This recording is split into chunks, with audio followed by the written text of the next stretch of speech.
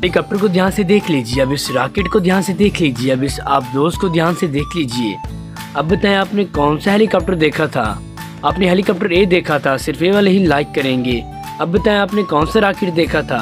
आपने rocket D देखा था, सिर्फ़ डी वाले ही सब्सक्राइब करेंगे। अब लास्ट में बताएँ, आपने कौन सी आप दोस्त देखी थी? इसका आंसर आप मुझे कमेंट करेंगे। Thank you